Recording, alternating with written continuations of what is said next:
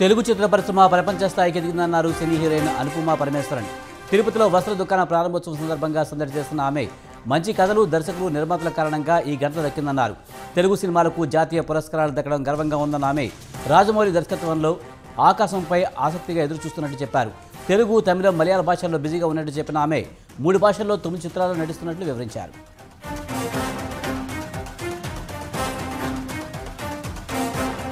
కృష్ణా జిల్లా అవనగడ్డ నియోజకవర్గం అభివృద్ధిపై సీఎం జగన్ ఇచ్చిన హామీలు నెరవేర్చాలంటూ టీడీపీ జనసేన పార్టీలు డిమాండ్ చేశాయి. స్థానిక ఎమ్మెల్యే కార్యాలయం వద్ద మహాధనాకు పిలుపునిచ్చిన నేపథ్యంలో జనసేన నాయకులు శేషుబాబు ఆధ్వర్యంలో అవనగడ్డ నాగాయలంక ప్రధాన రహదారిపై బైఠాయించి నిరసన తెలిపారు. నిరసనకారుల్ని పోలీసులు అరెస్ట్ చేసి కోడూరు పోలీస్ స్టేషన్కు తరలించారు. హామీల్ని అమలు చేయలేని సీఎం జగన్ వైఖరిపై మండిపడ్డారు. రౌడీ ఎమ్మెల్యే డౌన్ డౌన్ అంటూ నినాదాలు చేశారు.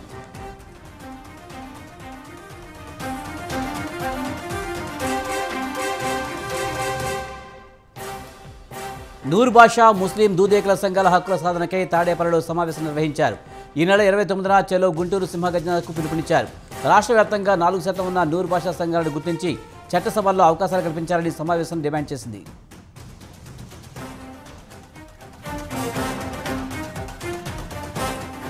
అంబర్పేట నియోజకవర్గంలో బతుకమ్మ సంబరాలు ఘనంగా జరిగాయి. మున్సిపల్ మైదానంలో ఎమ్మెల్యే కాలేరు వెంకటేష్ ఆధ్వర్యంలో ఈ సంబరాలు నిర్వహించారు. సంబరాల్లో సింగర్ మధుప్రియ బృందం పాడిన బతుకమ్మ పాటలు హోరెత్తించాయి. ఈ పాటలకు సంబరాల్లో పాల్గొన్న మహిళలు స్టెప్పులతో ఆడిపాడారు. వీరితో ఆడి సందడి చేశారు. పెద్ద సంఖ్యలో మహిళలు ఈ సంబరాల్లో పాల్గొన్నారు.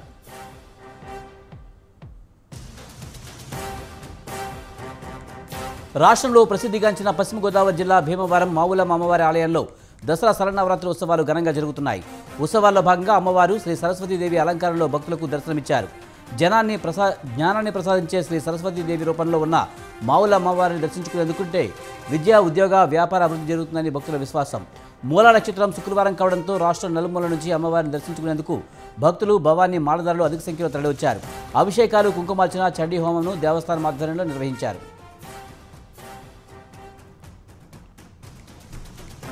దసరా శరన్నవరాత్రుల్లో భాగంగా ఆరో రోజు వరంగల్ శ్రీ భద్రకాళి అమ్మవారు సరస్వతి రూపంలో భక్తులకు దర్శనమిచ్చారు. చదురు తల్లి సరస్వతి రూపంలో అమ్మవారిని దర్శిస్తే సకల శుభాలతో పాటు అష్టైశ్వర్యాలు సిద్ధిస్తాయని దేవాలయ ప్రధాన అర్చకులు నాగరాజ శర్మ తెలిపారు. సకల పాపాలు తొలగి ఉన్నత విద్యావంతులు అవుతారని స్పష్టం చేశారు. కాగా సరస్వతి అలంకారంలో ఉన్న అమ్మవారిని దర్శించుకునేందుకు భక్తులు అశేషంగా తరలివచ్చారు.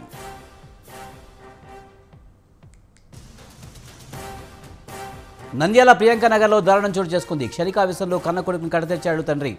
ఇంట్లోనే కత్తితో పొడిచి దారుణంగా హతమార్చాడు.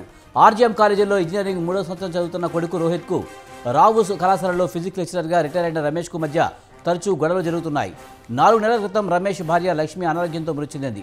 దీంతో తాగుడికి బానిసిన తండ్రి కొడుకు రోహిత్తో రోజు గొడవ పడుతున్న నేపథ్యంలో ఈ హత్య జరిగినట్లు two town CA Prabhakar Reddy తెలిపారు. రోహిత్ మృతదేహాన్ని పోస్టుమార్టంకై నంద్యాల జీజీఎస్కు తరలించి పోలీసులు కేసు నమోదు చేసి దర్యాప్తు చేస్తున్నారు.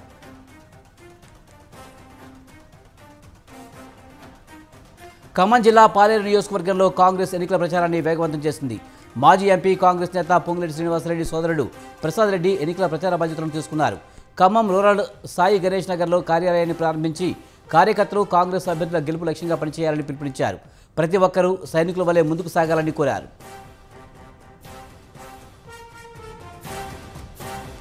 పశ్చిమ గోదావరి జిల్లా ఆకివీడు సమతానగర్లో అంబేద్కర్ విగ్రహాన్ని ప్రారంభించారు. రాష్ట్ర సాంఘిక సంక్షేమ శాఖ మంత్రి మేరుగు నాగార్జున. శాసనమండలి చైర్మన్ కొయ్యే మోషర్ మోషరాజు కమ్యూనిటీ హాల్ నిర్మాణానికి శంకుస్థాపన చేశారు.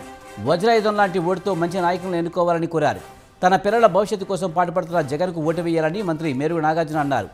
దేశానికి అంబేద్కర్ ఆలోచన విధానం ఎంతో అవసరమన్నారు మంత్రి నాగార్జున.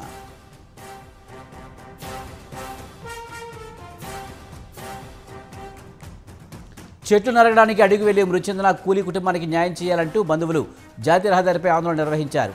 శిరవారిగూడెం జమాయిల్ ప్లాంట్లోని చెట్లు అరగడానికి వెళ్ళిన అతను అకస్మాత్తుగా కుప్పకూలి మృతి చెందాడు.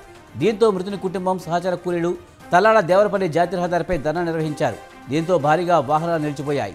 మృతుని కుటుంబంలో ఒకరికి ప్రభుత్వ ఉద్యోగంతో పాటు పది లక్షల రూపాయల నష్టపరిహారంగా ఇవ్వాలంటూ నినాదాలు చేశారు. మృతుని కుటుంబ సభ్యులతో అటవీ శాఖ అధికారులు చర్చలు జరుపుతున్నారు.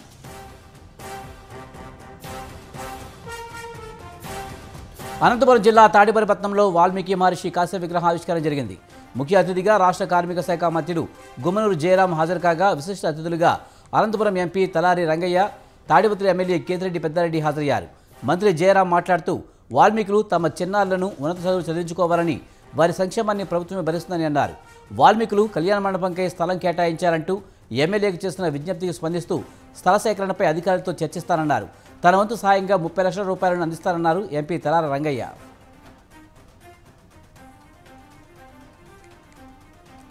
నిర్మల్ జిల్లాలోని మేడిపల్లి జాతీయ రహదారిపై రోడ్డు ప్రమాదం చోటు చేసుకుంది. నాగాపూర్ నుంచి హైదరాబాద్ వైపుగా టైలర్ రోడ్డుతో వెళ్తున్న లారీని వెనుక నుంచి మరో లారీ ఢీకొనడంతో లారీ ఒక్కసారిగా మంటలు చెలరేగాయి. సకాలంలో ఘటనా స్థలంలో చేరుకున్న అగ్నిమాపక సిబ్బంది మంటల్ని అదుపులో తెచ్చారు. ఈ ప్రమాదంలో లారీ పూర్తిగా దగ్ధం కాగా ఇరు లారీల డ్రైవర్లు క్లీనర్లు ప్రాణాలతో సురక్షితంగా బయటపడ్డారు.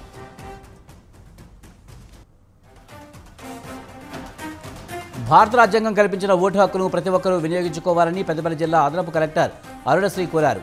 ఓటు వినియోగం ఆవశ్యకతపై అవగాహన కల్పిస్తూ గోదావరి కని మున్సిపల్ టీ జంక్షన్ నుండి గాంధీ చౌరస్తా వరకు నిర్వహించిన ర్యాలీలో మహిళలతో కలిసి వాక్ చేశారు. మైనారిటీ తీరిన ప్రతి ఒక్కరూ ఓటు నమోదు చేసుకోవాలని సూచించారు. ఎలాంటి ప్రలోభాలకు లొంగవద్దన్న ఆమె నిజాయితీగా ఓటు వేసి ప్రజాస్వామ్యాన్ని పరిరక్షించాలని కోరారు. వాలంటీర్ ద్వారా మోసపోయిన బాలిక విషయంలో తప్పుడు ప్రచారాలు చేయడం తగదన్నారు. దెందులూరు మండల వైసీపీ మండల అధ్యక్షులు శ్రీరామవరం గ్రామ సర్పంచ్ కామినేని నాని.